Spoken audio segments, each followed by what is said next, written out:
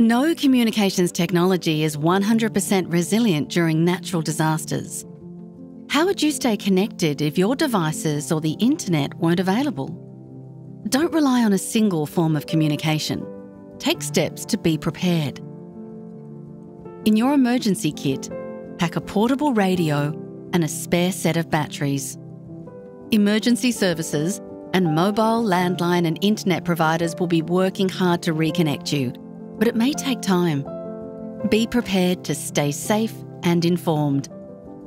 For more information, visit www.infrastructure.gov.au forward slash stand.